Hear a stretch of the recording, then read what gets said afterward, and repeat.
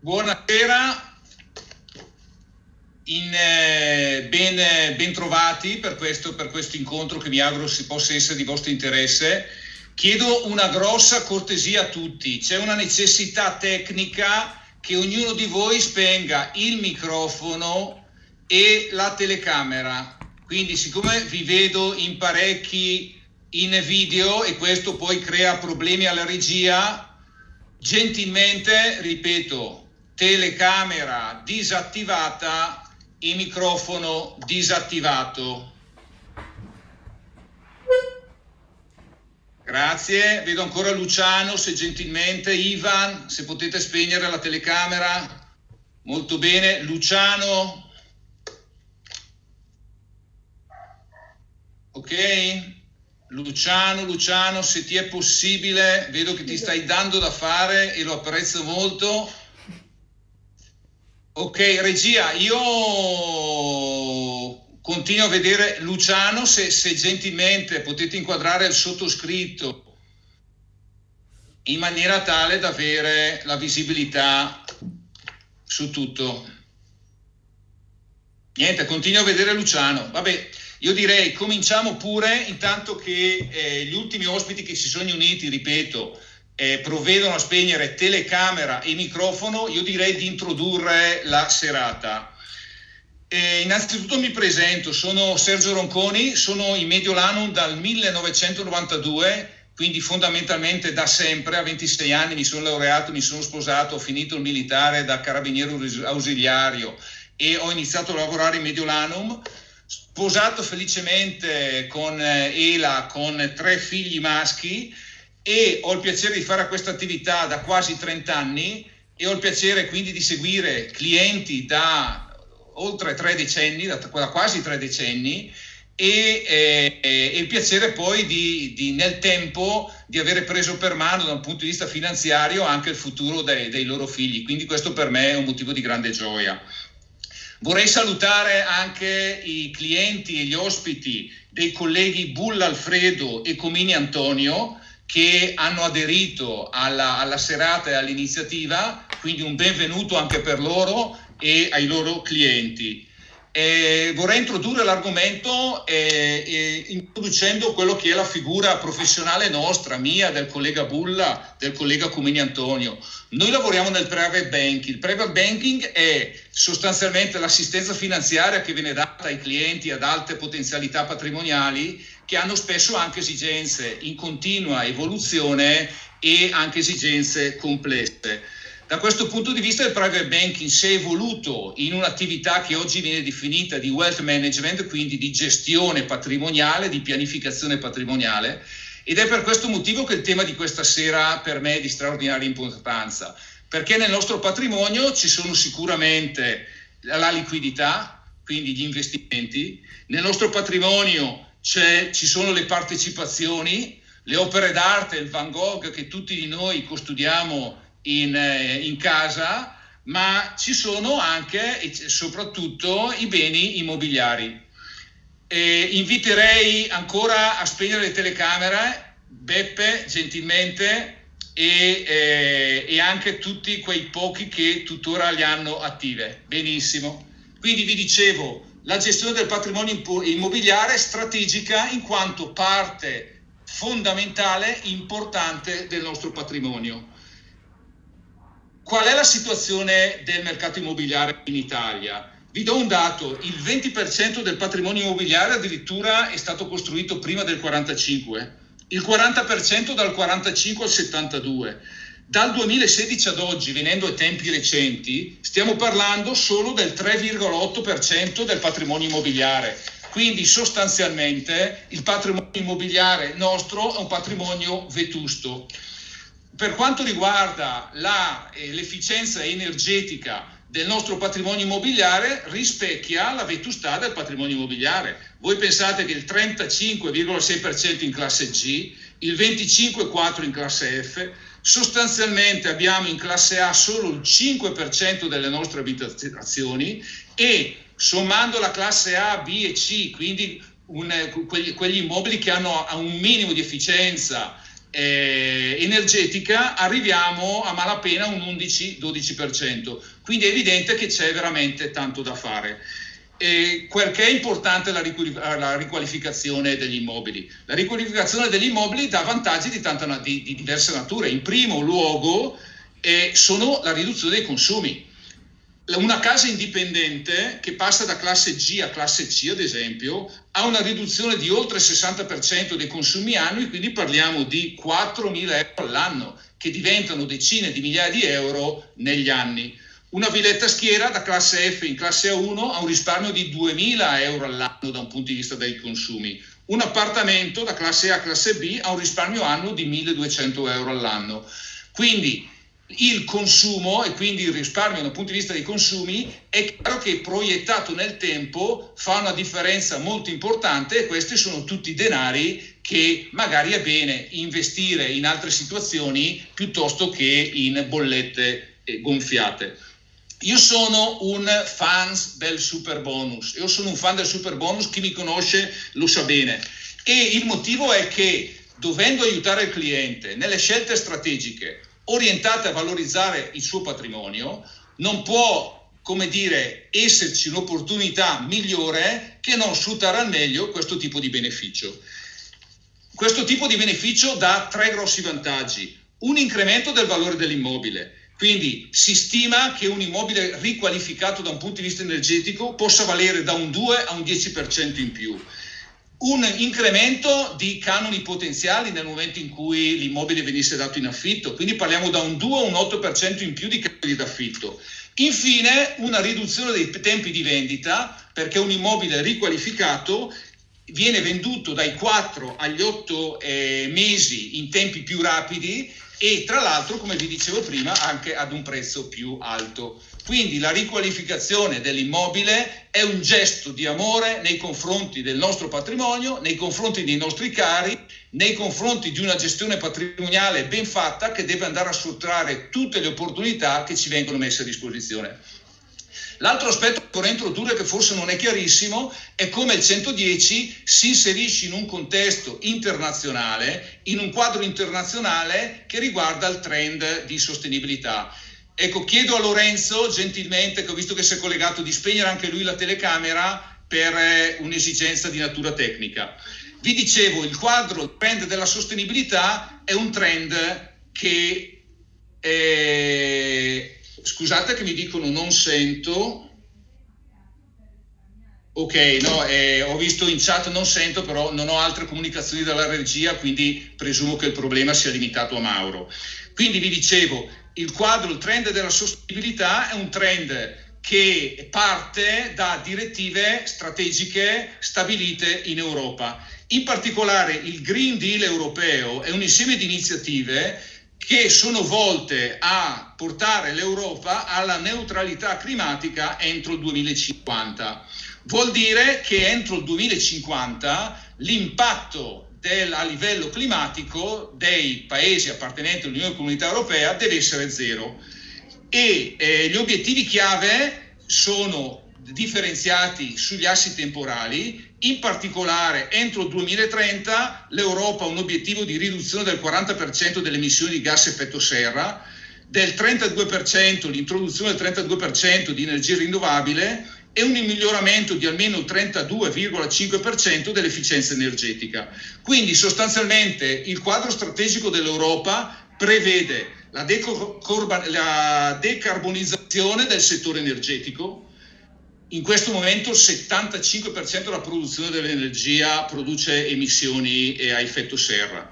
Prevede il, l'utilizzo da parte dell'industria di materiali riciclati che in questo momento pesano solo il 12%, prevede una riduzione del 25% delle emissioni eh, relative ai trasporti e in particolare arriviamo a noi una ristrutturazione ed un efficientamento degli edifici che rappresentano il 40% del, eh, dei consumi energetici.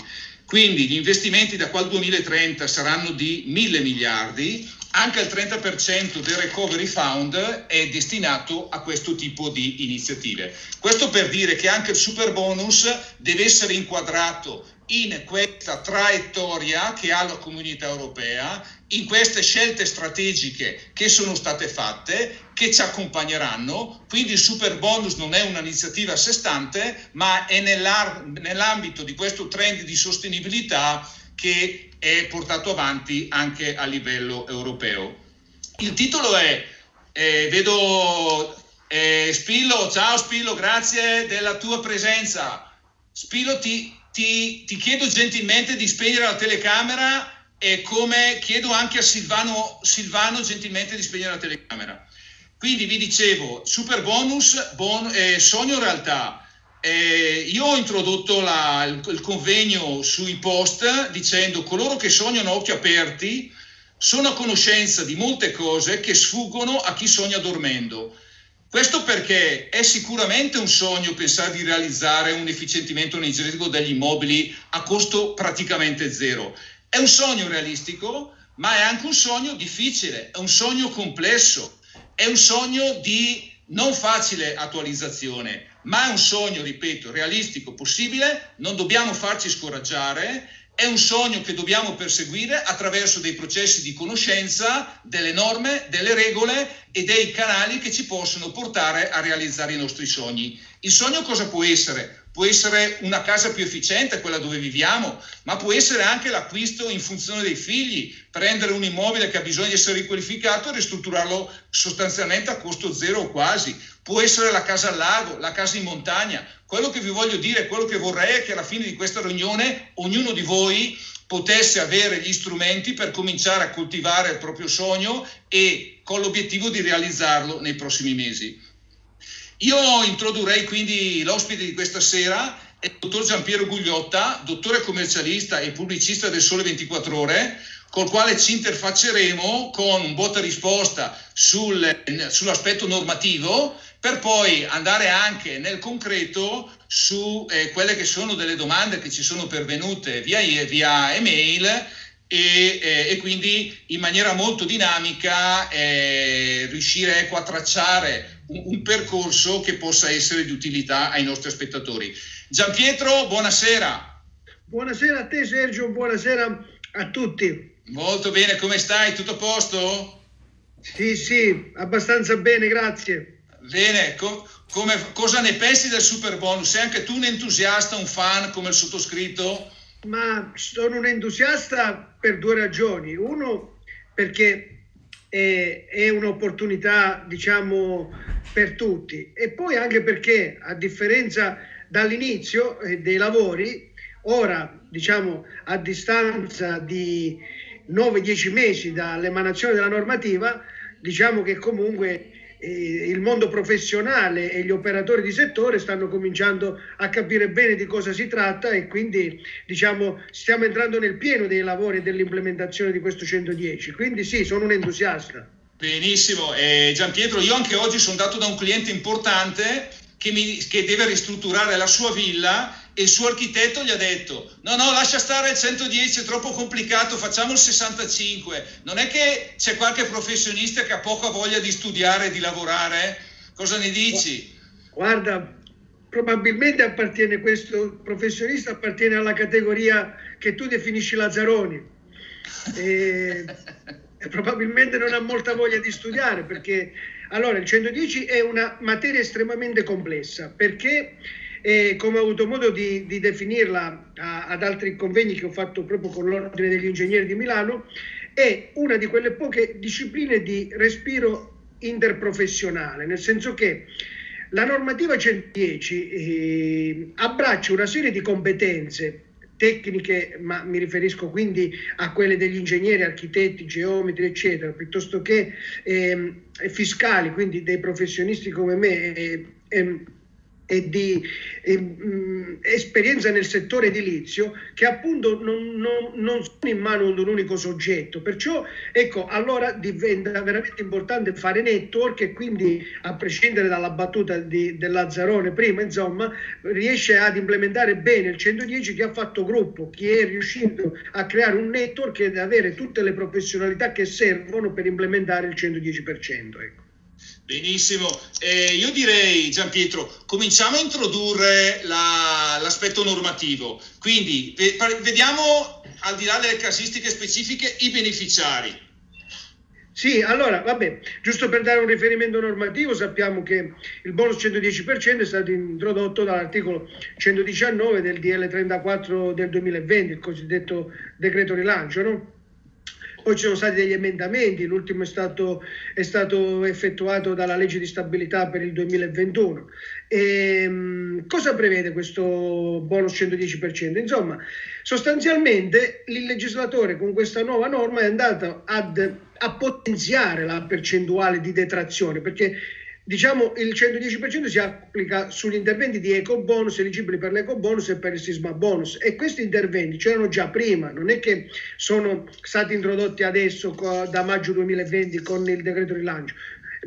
Col decreto rilancio è stata solo potenziata la possibilità di detrarre, quindi siamo passati dal 65% lasciami dire dell'eco bonus al 110% attuale del super eco bonus, ecco, perché poi il super bonus si divide in eco bonus e sisma bonus noi sappiamo no?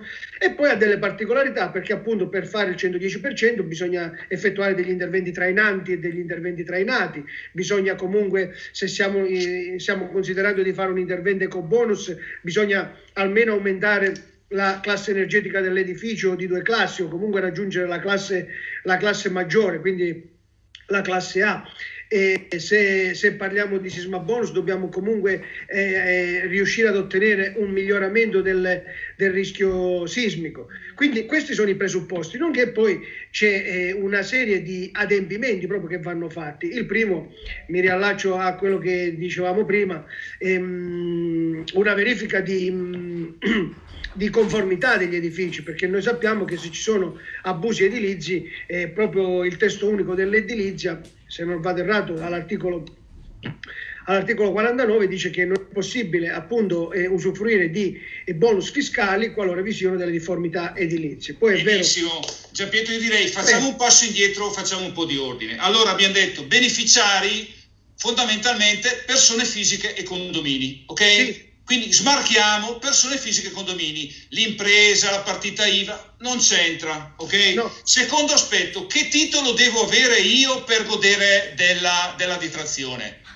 Sì, Sull'immobile. Allora, sì, fermo restando appunto i soggetti che hai detto tu, quindi persone fisiche piuttosto che condomini, il titolo che devo avere è essere proprietario dell'immobile. Ok, oppure... È un titolo. Se non sono proprietario dell'immobile, devo avere, diciamo, un, un, um, un, diritto reale di godimento sull'immobile, quindi devo avere comunque un usufrutto, devo avere un comodato, devo avere un contratto d'affitto. Questo mi dà la possibilità, mi dà il requisito soggettivo per potermi avvalere del 110%. Perfetto, ti faccio subito una domanda che è arrivata. Conviven- convivente, casa intestata alla compagna il fatto di abitare ti dà titolo come se tu sì, fossi sì, okay. è proprio previsto dalla è stato tra l'altro chiarito dalla circolare 24 del 2020 quindi sì. Benissimo questo era Massimo che ce l'ha chiesto. Quindi ricapitolando beneficiari persone fisiche e condomini sì. Titolo, qualsiasi titolo, quindi che io abbia la nuda proprietà, l'usufrutto, la proprietà esclusiva, un contratto di affitto, un comodato d'uso o semplicemente... Registrato comodato d'uso, mi raccomando. Registrato, benissimo, o semplicemente abito la casa perché è quella della mia compagna, questo è un requisito soggettivo sufficiente. sufficiente. Andiamo sui requisiti oggettivi degli immobili. Che tipo di, di, che tipo di tipologia, che tipologia di immobili è interessata dal, dal allora, le tipologie le tipologie di immobili, eh, rimanendo nell'ambito che stiamo analizzando, quindi relativamente alle persone fisiche e ai condomini, perché poi sappiamo che sono associazioni sportive, eccetera, ma è un mondo che oggi non ci interessa. Esatto. E, e gli immobili che sono eligibili per il 110% sono i condomini e sì. le unità unifamiliari, unità okay. unifamiliari singoli, singole o in un contesto plurifamiliare, inserite in un contesto plurifamiliare. In più, con la legge di bilancio 2021 è stato inserito, è stata inserita un'altra possibilità.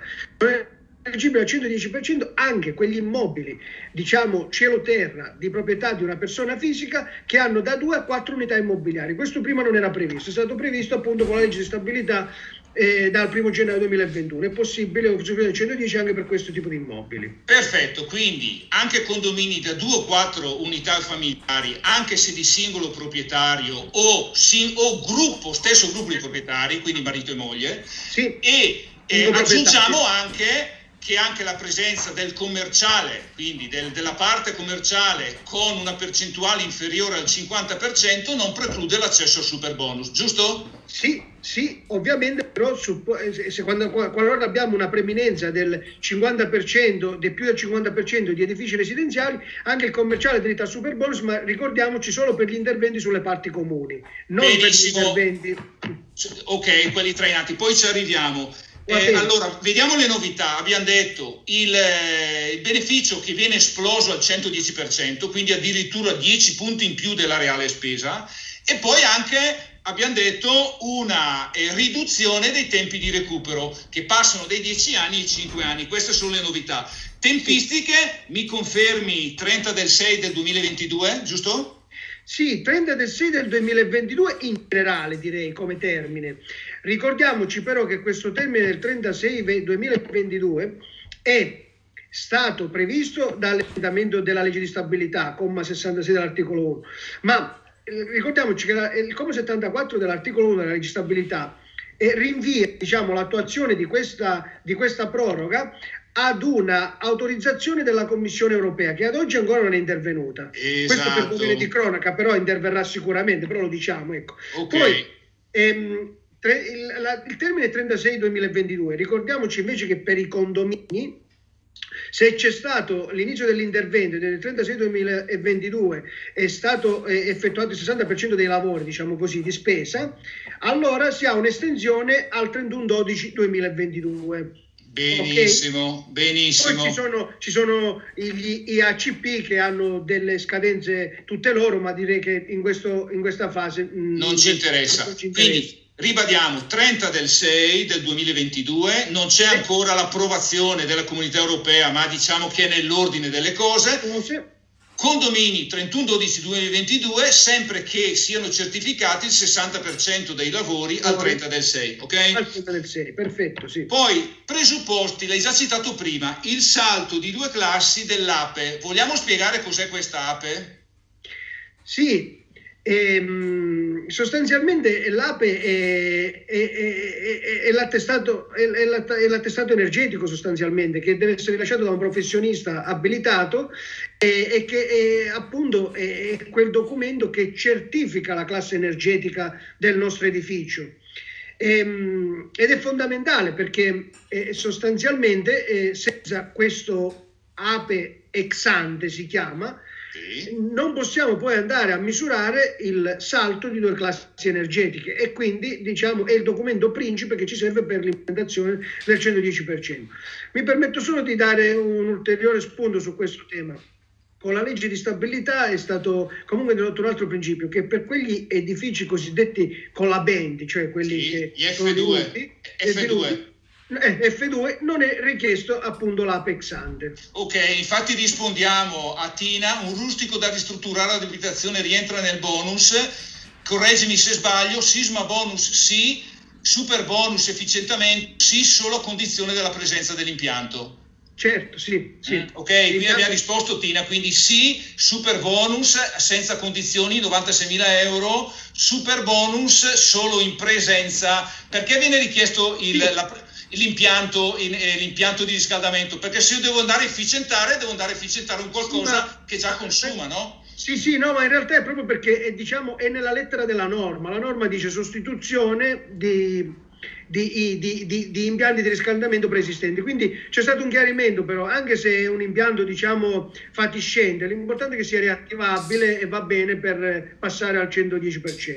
Esatto, poi tra l'altro, Giampiero, se non sbaglio, a questo punto anche la stufa, il caminetto contribuisce a, al poter sì. redigere un'ape iniziale, giusto? Assolutamente sì, sì. Benissimo. Giampiero, introduciamo il concetto a questo punto, questo efficientamento, faccio un'ape iniziale attestato di prestazione energetica, simulo tutta una serie di interventi perché l'APE finale, quindi l'attestato di prestazione energetica finale post interventi, mi permetta di fare questo salto di due classi. Sì. Quali sono gli interventi favoriti e che quindi contribuiscono all'efficientamento energetico? Sì, allora, noi dobbiamo, abbiamo detto all'inizio, ora lo diciamo meglio, ci sono due tipi di interventi, trainanti e trainati. Ricordiamoci questa partizione.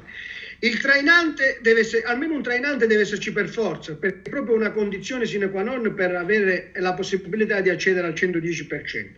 Tra i trainanti abbiamo sostanzialmente il ehm, cappotto termico, quindi il rifacimento della superficie esterna disperdente superiore al 25% e dall'altra parte un altro intervento trainante invece che può essere fatto sugli unifamiliari, sui condomini o sugli unifamiliari inseriti in contesti plurifamiliari è la sostituzione dell'impianto di climatizzazione invernale. Questo è l'altro trainante.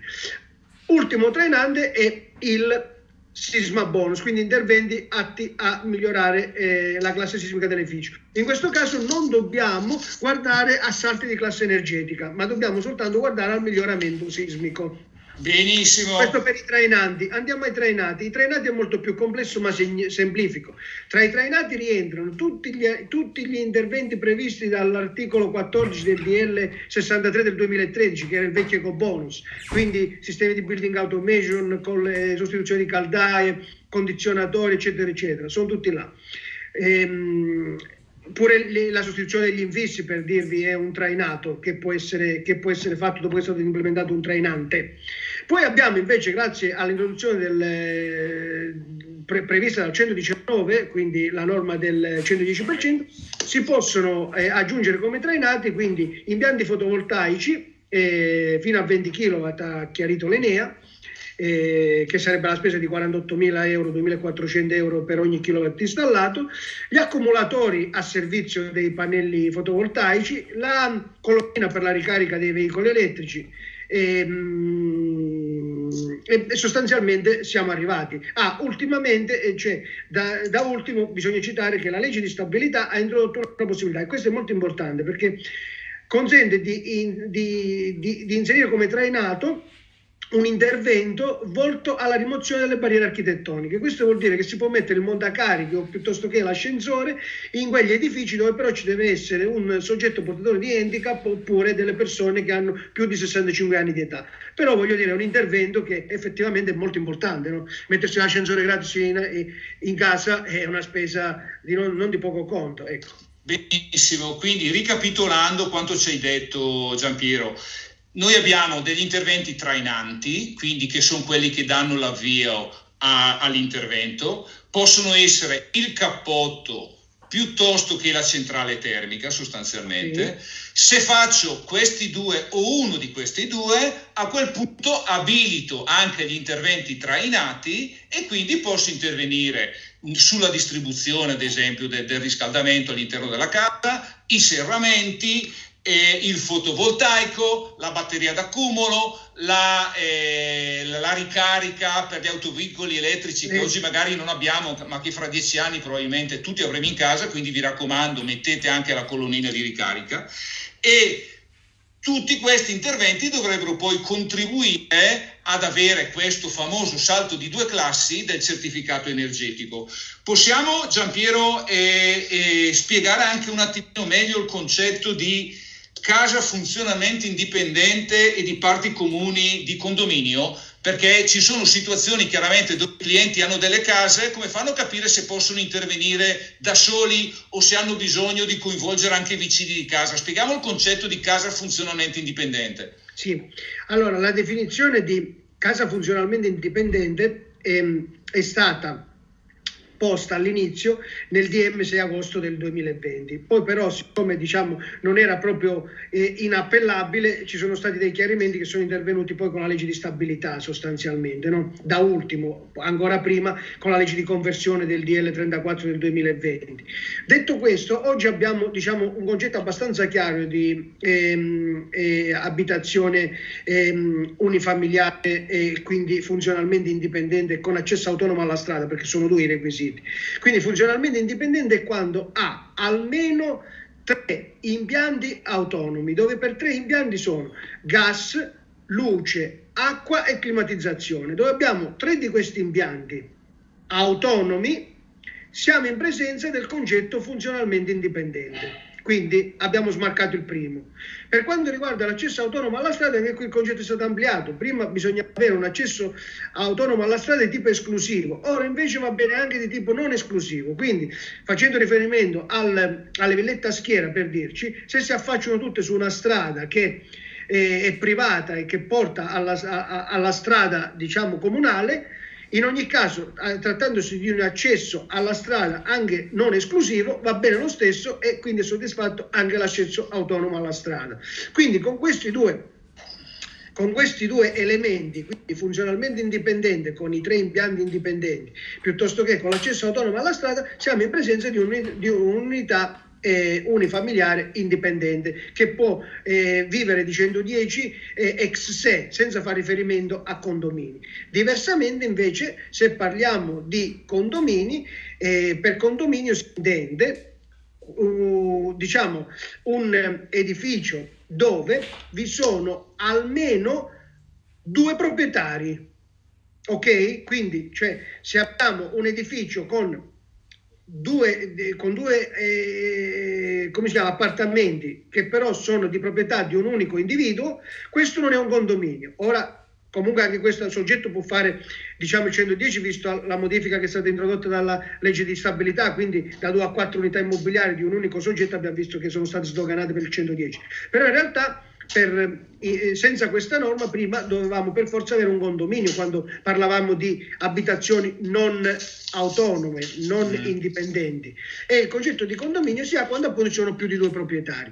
In più gli interventi trainanti devono essere fatti sulle parti comuni dei condomini e per parti comuni andiamo a intendere quelle parti eh, che sono sostanzialmente disciplinate dall'articolo 1117 del codice civile e sono sostanzialmente tutte le parti comuni, quindi suolo dell'edificio, tetto, eh, scale, tutto quello che è di utilizzo, diciamo, di, di, di, utilizzo comune e in più tutti gli impianti di utilizzo comune fino all'ingresso alla singola abitazione. Queste sono diciamo le parti comuni per capirci. Comunque la definizione si trova proprio nell'articolo 1117 del codice del, del codice civile. Benissimo, quindi eh, abbiamo una casa funzionalmente indipendente, posso accedere al centro 10 senza problemi, ho un appartamento al condominio, tutto passa attraverso una delibera condominiale dell'assemblea condominiale dove si autorizzano determinati interventi e in particolare dove si autorizza, si autorizza almeno uno degli interventi trainanti, cappotto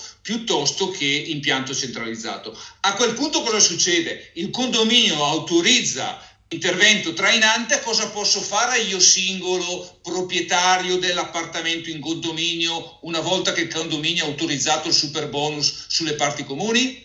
Se sono appunto un edificio residenziale, diciamo così, se sono un edificio residenziale posso fare tutti quegli interventi che sono classificabili come interventi trainati. E quindi quelli che abbiamo detto prima, tutti quelli di efficientamento energetico che rientrano nell'articolo 14 del DL eh, 63 del 2013, compresi gli infissi, quindi per rispondere a una domanda che ho visto prima passare in chat, ehm, piuttosto che eh, l'installazione di pannelli fotovoltaici, ma la vedo dura su, su, un appartamento, insomma, però sarebbe comunque un intervento trainato se si, eh, eh, si potrebbe fare piuttosto che l'installazione della, della colonnina, questo, questo, si può fare.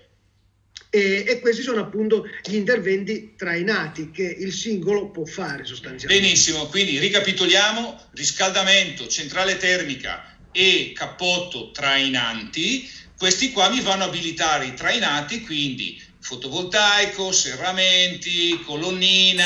Sì, per eh, capirci, impianti di building automation, eh, piuttosto che, eh, che ne so, il, a certe condizioni anche il condizionatore può rientrare tra, tra i trainati, ecco, perché mm. comunque a quel punto il condizionatore che diventa un, con bomba di calore, che diventa un impianto di climatizzazione invernale con bomba di calore, anche se singolo, rientra in quegli interventi di quell'articolo 14 che dicevamo prima del DL 63 2005, quindi anche il condizionatore, io se è bomba di calore posso trattarlo come trainato e andarlo a, a, a sostituire nel mio appartamento se appunto il condominio ha fatto l'intervento trainante che mi ha concesso la possibilità di accedere al 110. Ok, però per fare chiarezza stiamo parlando di un condizionatore eh, da pompa di calore che mi fa caldo freddo, ok? Che fa caldo Quindi... freddo che, che, abbia un requisito classe A più, più, più, insomma, ecco, siamo, è abbastanza circostanziata la, la fattispecie. Perfetto.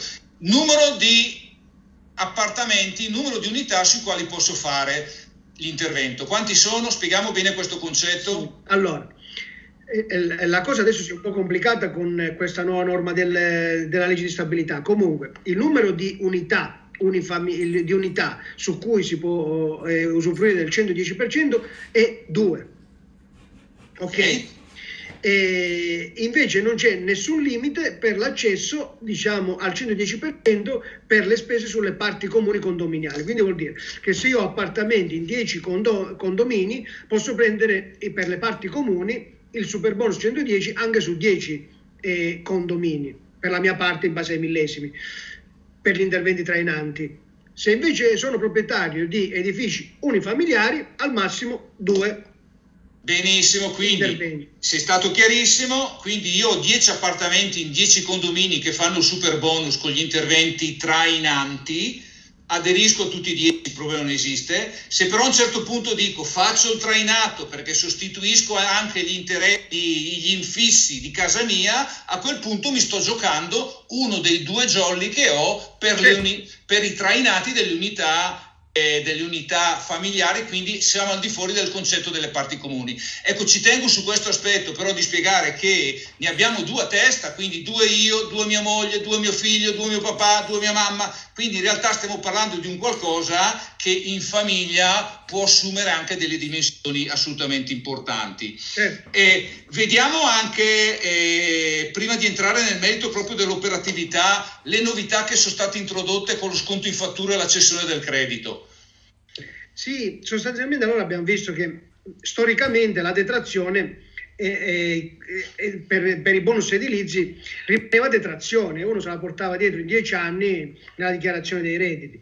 La vera novità invece proprio con l'introduzione, grazie all'articolo 121 del DL 34 del 2020, della possibilità di optare, si dice, per lo sconto in fattura o per la cessione del credito. In questo caso vuol dire che in ipotesi 110%, se io chiedo al mio fornitore lo sconto in fattura, ci sta che effettivamente, e quindi diventa un sogno, faccio tutto il lavoro a zero, perché, perché comunque eh, avrò uno sconto pari all'importo dovuto. E, ehm, a questo punto eh, sarà il fornitore ovviamente che troverà le risorse finanziarie per finanziarsi, sarà lui a, perché, perché, è previsto, quindi accedere ulteriormente il credito ricevuto dal contribuente finale. Altra possibilità invece è proprio la cessione diretta del, del credito, quindi eh, chi fa l'intervento, quindi il contribuente, paga il fornitore, quindi matura questo credito d'imposta e lo può cedere quindi alla banca o a un soggetto terzo eh, e in caso diciamo rientra subito, immediatamente, di quello che ha speso senza aspettare di riprendersi la detrazione in cinque anni. Su questa cosa però eh, vorrei aggiungere una cosa, non l'abbiamo detta prima, però potrebbe essere di interesse. Grazie, eh, con le modifiche introdotte alla legge di stabilità, ehm, gli, eh, gli, interventi fatti nel 2022 vengono, vengono, poi recuperati in quattro anni, non in cinque. Certo, corretto, certo, eh, sì, diciamo sì, assolutamente. assolutamente. Riprendiamo il discorso della struttura finanziaria. Mi tengo il credito in casa d'imposta, lo vado a scontare perché ho capienza fiscale e quindi in giro di cinque anni pagherò meno tasse pari alla detrazione. Due, trovo un fornitore che mi prende il credito come contropartita, quindi io avrò una fattura spese 100, consegna di un credito pari a 100, saldo 0, a sua volta poi il lo, lo, il fornitore lo userà con i suoi fornitori o lo porterà in banca. Terza eventualità, vado dalla mia banca consegno il credito e quindi la banca me lo pagherà.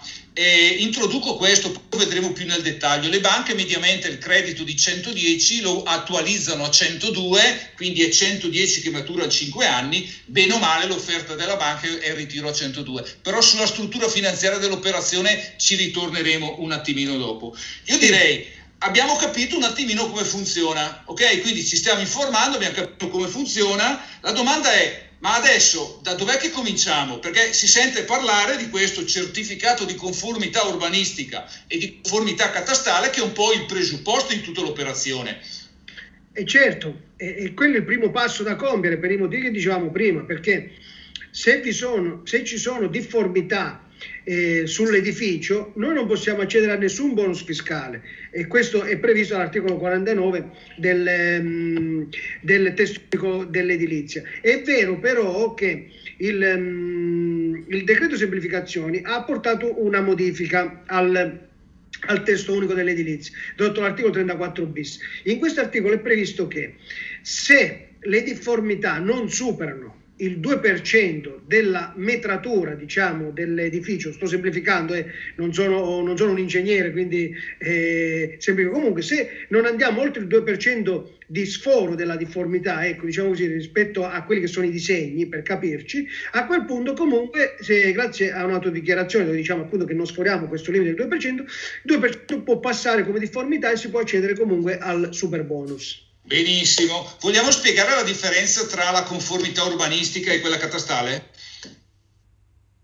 Ehm, sì. Cioè una riguarda il catasto, ok? Sì, sì, è soltanto documentale, mentre invece eh. quella urbanistica riguarda comunque il comune. Quindi I permessi a costruire, sì. le licenze e così sì, via. Più, eh, diciamo, ci viene chiesto, sono stative difformità esterne e non interne corretto, io qua direi di no, dipende dagli interventi, giusto? Però in linea di massima la, la difformità è difformità. Bisogna, bisogna proprio dipendere dagli interventi, perché per esempio, se sto facendo gli interventi trainanti su un condominio, certo, okay, non, non, mi devo preoccupare delle difformità del singolo, edificio, del singolo appartamento, perché quello è rilevante nel momento in cui vado a fare degli interventi trainati sul sulla, sul, sul, sull'appartamento, insomma, ma fin tanto che guardo soltanto ai lavori trainanti effettuati sulle parti comuni, guardare soltanto alla conformità del condominio.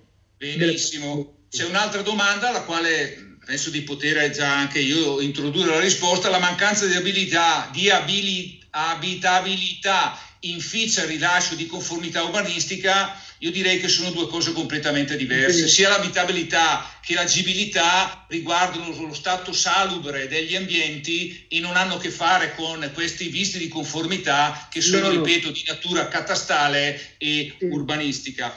E io, Gianpietro, se tu sei d'accordo, ti lascerei un attimo perché vorrei introdurre la figura del termotecnico eh, che è la figura chiave e stasera ho proprio la fortuna di avere tra gli ospiti Marco Mor che è un caro amico, professione termotecnico. È una figura professionale venuta proprio alla ribalta della cronaca grazie al super bonus. Loro in realtà esistevano anche prima, sono un po' il braccio operativo da un punto di vista energetico del geometra, del, dell'architetto. Noi generalmente ci siamo rapportati sempre col geometra e l'architetto, non sapevamo che dietro c'era un omino che gestiva tutto l'aspetto energetico. Oggi in realtà questo tipo di professionalità è diventata centrale. Buonasera Marco, come andiamo? Buonasera, benone, grazie. Tutto bene?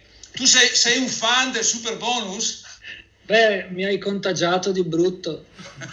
Sì. ci, ci, vuoi raccontare anche la tua esperienza in qualità di investitore? So che stai facendo una bella operazione a livello personale, motivato proprio da questo sogno che, che hai potuto coltivare.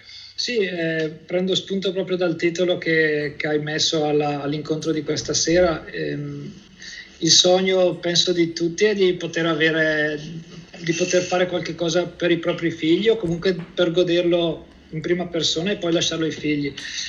Questo super bonus, essendoci dentro in prima persona, mi ha consentito di fare una ricerca di mercato, comprare un edificio eh, sul lago e grazie al super bonus sto cercando di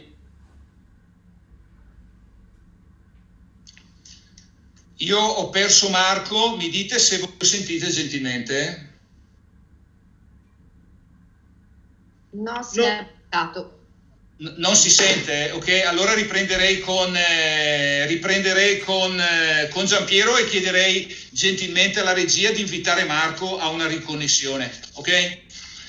Giampietro ci sei? Pronti, ci siamo. Benissimo, il termotecnico è impegnatissimo, sai che è ricercatissimo e quindi... Eh, ma è vero, è vero, tutti quelli che mancano sono i termotecnici, perché mancano Benissimo.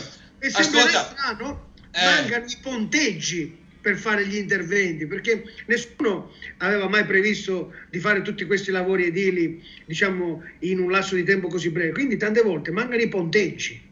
Ah, anche i ponteggi, non solo i professionisti, anche i ponteggi. No, anche i ponteggi e i termotecnici. Però c'è abbondanza di commercialisti. Quello... Eh, ah, quelli sì, quelli ci sono. Ascolta Gianpietro, una, io vorrei, eh, spieghiamo il ruolo del general contractor, che anche questa qua è una figura che eh, ha preso notorietà proprio recentemente. Perché si è sviluppata così tanto? Che vantaggio ci dà il rapportarci con un general contractor? Sì, il general contractor è una figura che è presente eh, diciamo sulla scena del 110 in modo direi quasi invasivo. E, e, e giustamente direi io perché? Perché chi deve fare il 110 non può avere n interlocutori. Diventa difficile poi fare, fare eh, l'intervento.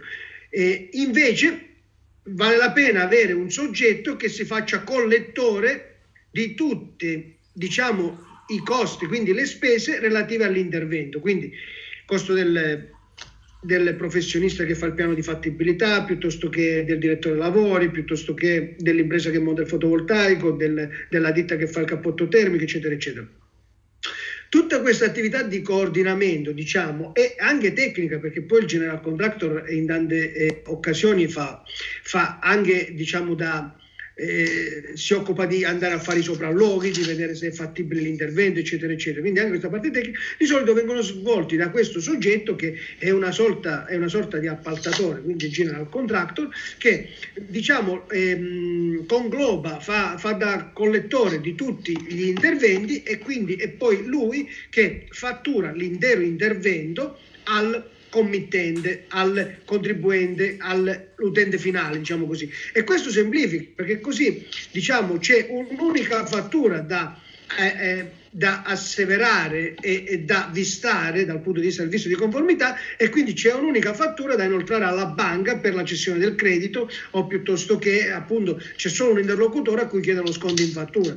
Questo diciamo semplifica tantissimo il processo. Benissimo, quindi eh, grazie Giampietro. Eh, General Contractor, una nuova figura, non dobbiamo più interfacciarci con idraulico, elettricista, quello fotovoltaico, ma con un, eh, con un, singolo interlocutore che poi andrà a subappaltare o la possibilità di avere lo svolgimento di tutti i passaggi burocratici e quindi di avere un interlocutore unico. Eh, Marco è ritornato in linea, quindi chiederei alla regia di dare il volume a Marco. Ci sei Marco?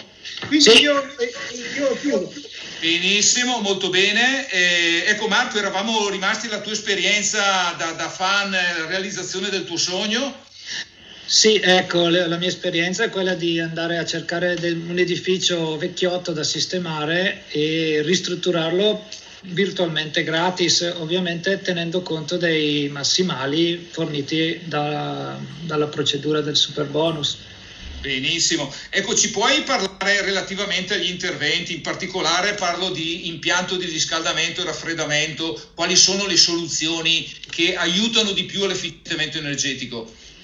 Sì, ehm, dunque il, il super eco bonus prevede la sostituzione degli impianti termici o con dei generatori tradizionali, delle caldaie a gas o con delle pompe di calore o con dei sistemi ibridi che sostanzialmente un sistema ibrido è composto da una pompa di calore e da una caldaia abbinati, ehm, costruiti in fabbrica, specificamente progettati per funzionare insieme, quindi con un sistema di regolazione che alterni il funzionamento tra la pompa di calore e la caldaia a seconda di determinate condizioni o climatiche o economiche, quindi in base all'efficienza dei sistemi, in base a quello che costa l'energia elettrica e il gas.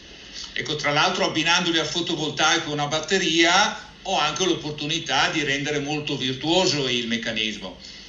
Beh, sicuramente l'abbinamento di una pompa di calore con un impianto fotovoltaico e con una batteria di accumulo fa sì che quasi tutta l'energia elettrica che serve per far funzionare la pompa di calore sia gratis, quindi eh, a quel punto eh, la bolletta quasi si azzera se ho una pompa di calore pura. Se invece ho un sistema ibrido vuol dire che nel periodo in cui fuori fa più freddo interverrà ancora la caldaia a supporto della pompa di calore e allora consumo un po' di gas e un po' di energia elettrica per riscaldare la casa e per produrre l'acqua calda della doccia. Benissimo, io Marco approfitterei della tua presenza per un paio di domande un po' tecniche che mi sono arrivate. La prima è da parte di Jenny, dice eh, demolizione e ricostruzione con aumento volumetrico. Eh, io ho un aumento del volume urbanistico e anche un aumento del volume netto riscaldato. Dice com'è che vado a attribuire le spese per l'ampliamento quando ho un certo, ripeto, incremento urbanistico di volume che è diverso rispetto all'incremento del volume netto riscaldato? Beh, ehm, in ogni caso si applicano le stesse disposizioni del vecchio ecobonus che prevede che quando c'è un aumento del volume climatizzato bisogna fare un doppio, una doppia contabilità. Tutto ciò che era riscaldato prima va nell'ecobonus, tutto ciò che è nuovo non beneficia di nessun eh, bonus lo paga tutto il cliente al 100% senza poter usufruire di nessun tipo di bonus.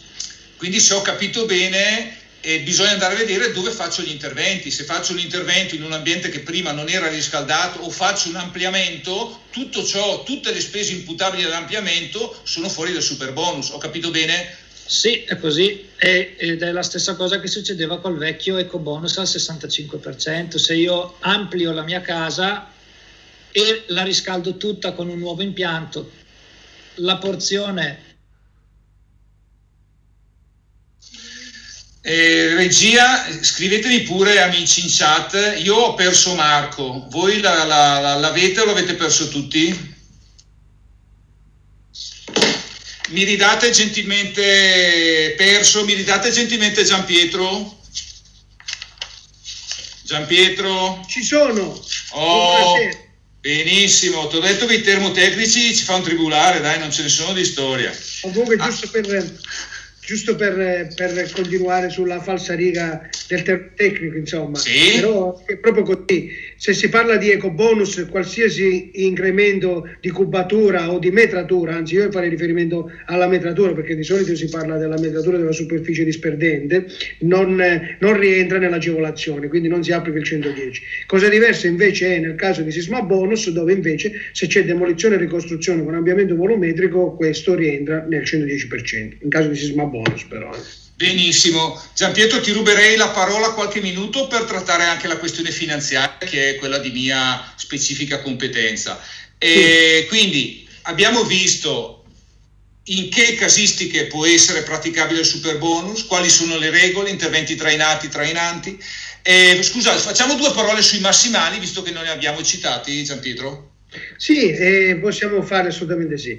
Allora, i massimali variano a seconda dell'intervento, per, eh, per capirci. Eh, quindi, se stiamo parlando di, di interventi sui condomini, ehm, variano a, secondo, a seconda dei condomini che eh, diciamo, compongono il condominio. Quindi avremmo che se per esempio parliamo di cappotto, di cappotto termico, abbiamo che fino a... Mm, a 8 condomini siamo a 40.000 euro di spesa moltiplicato per il numero dei condomini. E, e, oltre gli 8, 30.000 euro di spesa. In caso di unità unifamiliari abbiamo 50.000 euro di spesa per il cappotto, per il cappotto termico. Se andiamo invece ehm, a guardare la sostituzione degli impianti di climatizzazione invernale, abbiamo 30.000 euro per 30.000 ehm, euro se non ricordo male perché sì, sono andato a memoria eh, per, um, per, gli interventi sui condomini dove ci sono fino a 8 condomini e scendiamo a 20.000 euro per gli interventi che vanno oltre gli 8 condomini. E sì, eh, è così, ehm, mentre invece se guardiamo al sisma bonus abbiamo un, un, tetto di spesa che è i 96 mila euro per tutti i tipi di interventi sostanzialmente. Se, ritornando, scusami che non l'abbiamo detto, sugli impianti, la sostituzione degli impianti di climatizzazione invernale per le unifamiliari invece abbiamo eh, un, un tetto di spesa di 30 mila euro. Benissimo, ecco io su questo aspetto vorrei dare un'informazione che credo importante. E vige la legge per la quale l'intervento maggiore assorbe l'intervento minore. Mi spiego meglio, faccio una distribuzione del riscaldamento a pavimento, devo quindi tirare su il pavimento e poi rifarlo, è chiaro che in quel caso lì anche il rifacimento dei pavimenti per l'inserimento del, dell'impianto di distribuzione rientra nel super bonus. Quindi se gestito bene le opportunità sono veramente molto importanti. Regia, direi se ho visto Marco collegato, se potete passare ancora Marco, che avrei ancora un quesito. Marco ci sei? Io colgo io l'occasione per fare una piccola correzione, sono andato a rivedere i limiti perché prima andavo a braccio, abbiamo che su, sui condomini per la sostituzione degli impianti di climatizzazione invernale 20.000 fino a 8 unità, 15.000 oltre le 8 unità, giusto per dare il dato corretto. Eh. Benissimo, quindi 30.000 unifamiliare, da 2 a 8 20.000, oltre gli 8 15.000. Marco, mi, ci senti Marco? Marco non, non hai il microfono attivato. E regia, puoi dare, puoi dare il, attivare il microfono di Mor gentilmente? Deve attivarlo da solo. Scusami?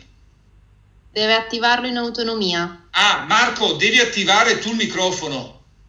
Hai il microfono disattivato. No, mi, se vuoi provare a ricollegarti, Marco, dai, fammi questa cortesia. Grazie.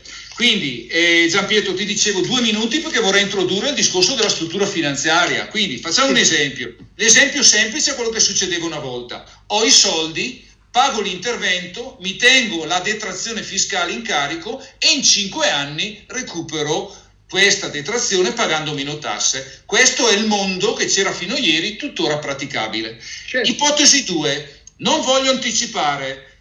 Cosa faccio? Posso trovare due opportunità, uno sconto in fattura, quindi un'azienda che è disposta a farmi i lavori con la cessione del credito, oppure posso trovare una banca che mi fa un prefinanziamento, io utilizzerò i soldi del prefinanziamento per pagare i lavori, solo una volta che i lavori saranno pagati io potrò fare, attivare tutta la procedura per la cessione del credito, a quel punto io ho già saldato, cedo il credito e con la cessione del credito andrò a chiudere la mia linea di prefinanziamento. Io ci tengo a darvi degli spunti operativi proprio concreti. Allora, il primo è, eh, si trovano general contractor che fanno sconto in fattura? Io direi sì, cominciano a esserci molte entità che si stanno proponendo con lo sconto in fattura. Diciamo che è più semplice trovare dei pacchetti integrati, quindi il general contratto che dice ti faccio riscaldamento fotovoltaico, cappotto, cioè quindi dei pacchetti integrati e sono gli interventi di installazione se io ho un intervento più complesso dove devo tirare sui pavimenti, rifare, mettere riscaldamento a pavimento, lì è un pochino più difficile perché le multi-utility e tutti i generi di contratto che si sono si stanno presentando sul mercato, si stanno strutturando per dare de- dei pacchetti di facile installazione e quindi, ripeto, ho esigenza di cappotto, impianto fotovoltaico, lì credo che googolando un pochino probabilmente sì. le offerte cominciano ad essere numerose. Sei d'accordo Giampietro? Assolutamente sì, guarda, è proprio quello che hai detto. Sai cos'è che non va d'accordo? Il cappotto termico con il resto degli altri interventi. Perché si fa fatica a trovare ad integrare diciamo, con, con, gli altri lavori proprio eh, la, eh, l'implementazione, quindi eh, il rifacimento del, del, del, del, cappotto termico. Questo per, secondo me per, per, due ordini di motivi. Uno perché ehm, cap- ci, ci, sono pochi operatori che fanno il cappotto termico e soprattutto, e soprattutto ha quelle condizioni previste dal decreto ministeriale 6 agosto 2020 che poi è attuativo della, de, de, del bonus 110%. Quindi e diciamo chi, chi ha la capacità di fare il, il, il cappotto termico di solito, di solito non mal si integra con chi vuole fare il general contractor perché è una questione di margini sostanzialmente ecco meglio di così non te la so dire okay. ma siccome già è alto il, cappotto te- il costo per fare il cappotto termico allora il general contractor non ha interesse a portarsi in casa il cappotto termico perché sì. prende i rischi e non prende remunerazione ecco, sì, diciamo questo Gian Pietro l'ho verificato anche sul campo se è una villetta schiera una bifamiliare probabilmente i massimali sono tali da accontentare tutti è chiaro che se parliamo di un unifamiliare importante si pone un problema anche di massimali sì. e eh, diciamo che però in questo caso uno potrebbe anche trovare un general contractor che le fa tutta la parte energetica prendersi il capottista che però deve lavorare in contemporanea perché gli interventi devono essere eseguiti nei, nei, stessi tempi e quindi fare la cessione del credito per il cappotto e invece ottenere lo sconto in fattura per tutto il resto. Certo. La mia esperienza diretta è che però tutto sommato cominciano a presentarsi diverse realtà che fanno questi pacchetti integrati, basta aver voglia di googolare un pochino e anche Facebook, Instagram, fate degli appelli, cerco azienda e vedrete che vi arrivano due, tre, dieci risposte di aziende che si offrono. Però guarda, guarda, su questo tema mi permetto di dare un'indicazione che secondo me potrebbe ritornare utile a molti soggetti. E, ho scritto pure un articolo su Sole 24 Ore sul tema. Provate a fare il confronto fra bonus facciate e, e 110%, perché siccome sull'unifamiliare è difficile che si riesca a stare nel, nel limite di 50.000 euro per fare per fare il cappotto termico, se si rispettano i requisiti, se si rispettano i requisiti per per l'implementazione del bonus facciate, quindi si hanno gli affacci sulla strada e si, si, nelle, si risiede nelle zone A e B, quindi, quindi, ad alta densità, eccetera, eccetera, a quel punto forse vale la pena considerare il bonus facciate perché è vero che il bonus riconosciuto è il 90%, ma non c'è limite, non c'è massimale, quindi vuol dire che per la villetta spendo 200.000 euro di cappotto termico per la, per la villa, insomma, spendo 200.000 euro di cappotto termico, col bonus facciate me ne porto a casa 180, mentre invece ecco. con 110 ho un limite di 50.000 euro. No? Molto, molto interessante, molto utile. Io chiuderei l'aspetto finanziario con una questione tecnica che a volte mi viene chiesta. Dice, ma la banca quando ti fa il prefinanziamento va a verificare il merito di credito? La risposta è assolutamente sì. Cioè, voi pensate che quando viene attivato un prefinanziamento, sostanzialmente stiamo parlando di un prestito a 10 anni che va in preammortamento. Io quindi la rata in realtà dovrò andrà a regime solo a fine lavori, in realtà poi cedo il credito, quindi la rata non andrà mai a regime. Però quella rata di un prestito a 10 anni è quella che deve essere non superiore al 15% del reddito annuo. Quindi abbiamo una misurazione del merito di credito che è la metà rispetto a quanto richiesto con i mutui tradizionali, che però esiste. Dopo se il cliente non ha merito di credito ma ha degli investimenti in banca, è evidente che potrà mettere a garanzia quelli che sono gli investimenti. L'interlocutore per la cessione del credito, ricordatevi, non è la banca eh, esterna a voi, è la vostra banca, perché nessuna banca sta cavalcando questa cosa qua con l'obiettivo di portarsi a casa i clienti. È, scusate il termine, è un po' una scocciatura sta cosa qua, la si fa nei confronti dei clienti che già ci sono in casa. Anche noi, parlo di Mediolano, ma a livello di policy, chiediamo comunque almeno tre mesi di profondità del rapporto, quindi un cliente che già abbiamo nel portafoglio. A quel punto prendiamo in considerazione di fare l'operazione. È chiaro che se ci fosse qualcuno che ha bisogno ci possiamo guardare dentro, però in linea di massima il referente per la cessione del credito è la propria banca dove ho un rapporto storico, dove ho i miei investimenti e quindi mi può agevolare a costruire un'operazione finanziaria che mi permetta di avere questo prefinanziamento che andrà a essere estinto con la cessione del credito. Se trovo l'azienda con lo sconto in fattura è evidente che non si pone neanche questo problema. Io ripasserei la parola a Marco che so che ha la telecamera spenta perché ci sono questi problemi. Se però sentiamo la sua voce direi che già, è già utile. Marco ci senti? Sì, tu mi senti? Perfetto, ti sento benissimo. Avrei ancora un paio di domande Marco, gentilmente. Allora, cliente che mi dice, eh, sto ristrutturando un immobile, sarà frazionato su due unità e eh, mi dice su queste due unità cosa, cos'è che devo fare da un punto di vista della detrazione, cos'è che mi è utile? Un generatore comune per i due appartamenti oppure faccio, metto un generatore per ogni appartamento? Eh beh, bisogna vedere la situazione di partenza perché se questi due alloggi già hanno un impianto centralizzato, ai fini del super bonus bisogna mantenere l'impianto centralizzato, anche perché se vado a separare un impianto centralizzato in più impianti autonomi perdo qualsiasi tipo di bonus, anche il vecchio eco bonus del 65. Benissimo, quindi se già centralizzato deve rimanere centralizzato, se non è centralizzato avrò la doppia scelta e poi dovrò vedere i relativi costi per vedere se ci sto dentro nei massimali, giusto? Giusto. Un'altra domanda che riguarda il day ce la fa Maurizio, eh, i famosi 650 euro al metro quadrato per, eh, i, per, i, serramenti, è un concetto superato quello del day sui serramenti che era l'unica voce oggettivamente un po' limitante? Eh, sì, il DEI può essere superato in qualsiasi voce a patto di procedere all'analisi dei prezzi come si fa in tutti i lavori pubblici, cioè dove non trovi una voce nel preziario, dove la voce non sia remunerativa, si può fare l'analisi dei prezzi partendo dal, dal prezzo della materia prima fornito da tre costruttori, da tre produttori.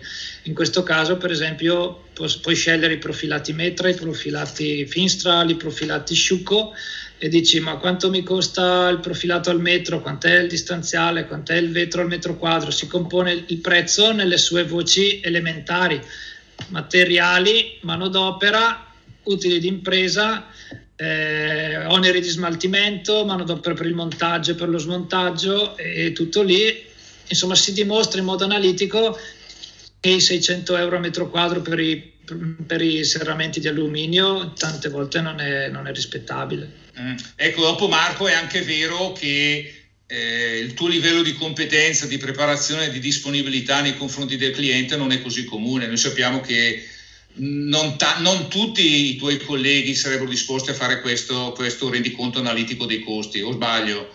È molto più comodo avere i prezzi già fatti da, da, un preziario, che sia il DEI che sia il preziario regionale, si fa molto prima, certo. Mm. Però a quel cosa... punto eh, la mia esperienza è che lavoro con due gruppi di lavoro, con due general contractor, in entrambi i casi si cerca di sfruttare al massimo i massimali, perché altrimenti cosa succede? Per esempio sui serramenti ai 54.000 euro a disposizione è ben difficile raggiungere in un'abitazione i 54.000 euro, ma applicando il prezzario DEI arrivi a 12.000 euro con 650 euro al metro quadro e devi chiedere 5, 6, 10.000 euro di extra al cliente, mentre invece facendo l'analisi dei prezzi si sfrutta appieno il bonus, il tetto del bonus messo a disposizione dallo Stato. Mm. Certo, non Maurizio so mi... sono stato chiaro. No, no, sei stato chiaro. Maurizio mi dice, ma questi contesi potrebbero fare anche i serramentisti, no? Non è così, giusto?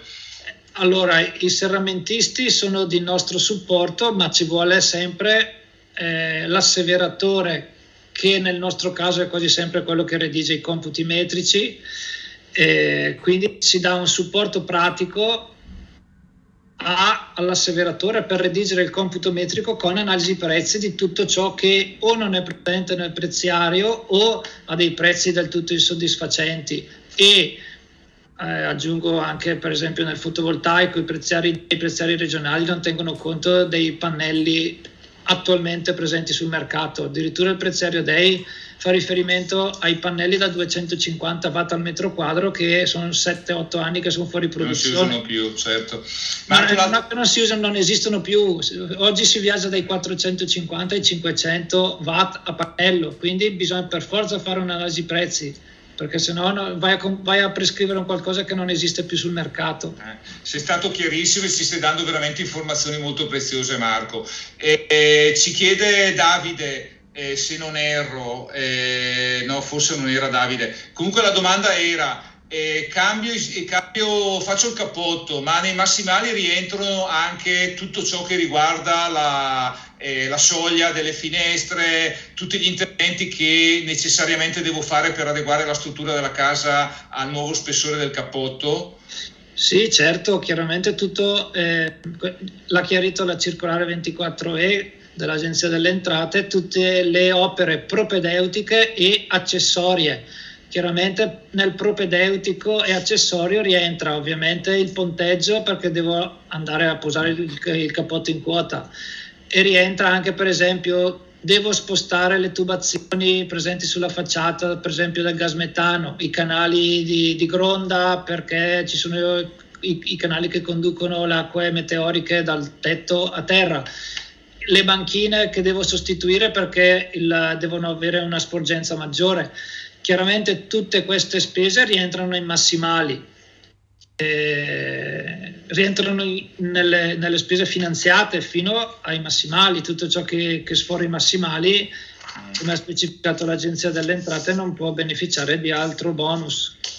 Ascolta, Michele, Michele, ci chiede, questa è una domanda interessante e che, sulla quale ci siamo confrontati tante volte Marco. Eh, si acquista un edificio costituito da una sola unità immobiliare e lo si fraziona in due e poi si seguono i lavori. Su quante unità immobiliari si calcolano i massimali? Vuoi te la senti o vuoi che risponda io?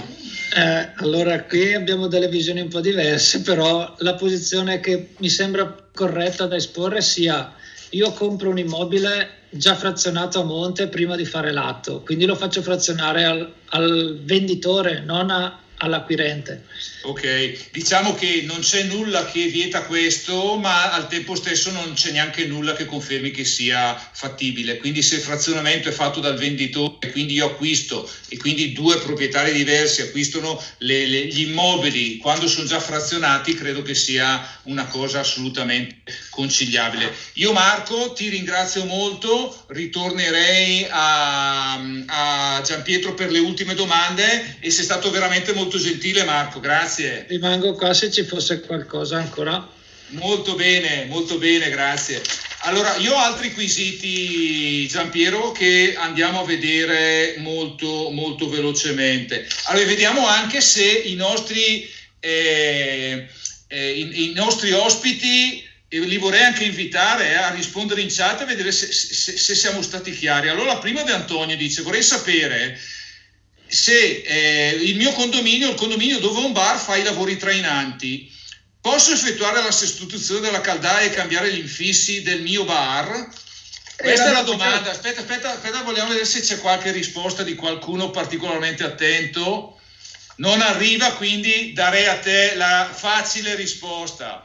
Sì, in realtà l'abbiamo già detto prima, quindi se, per quanto riguarda, diciamo, se il condominio fa, fa gli interventi trainanti e più del 50% è residenziale, diciamo, il bar accede al super bonus per quanto riguarda gli interventi trainanti, ma per quanto riguarda quegli interventi che diceva lui che sono trainati, purtroppo non si applica il bonus 110%. Benissimo, Sauro ci chiede, anche questo è semplice, palazzina di 6 unità unico proprietario, il proprietario cede la nuova proprietà di tre unità e quindi la situazione nuova è due proprietari con tre appartamenti ciascuno. Possono accedere anche per i trainati? Evidentemente la risposta è solo nel limite delle due unità. Delle due unità. Quindi in questo caso se in famiglia sono in più di due devono frazionare, devono, frazionare, devono fare sì. delle cessioni di diritti sì, reali magari, su questi immobili. Magari anziché fare 3 e 3 fanno 2 2 2 se ci esatto. familiare va bene. E risolvono il problema. E, prezzi stabiliti l'abbiamo visto. E, e, poi mi si viene a chiedere, possono cedere il credito alla banca senza alcun costo? Io direi assolutamente sì, addirittura la banca paga 102, quindi addirittura paga di più rispetto sì. a, a, ai 100. La signora Maria ci chiede il discorso del frazionamento che abbiamo visto prima, la suddivisione in due unità, e il discorso del prefinanziamento con successiva cessione del credito. La stessa verifica la stessa la banca verifica preventivamente se la pratica corrisponde ai requisiti richiesti per l'accesso al super bonus, anche la banca evidentemente interviene in questa verifica, giusto? Eh certo, sì.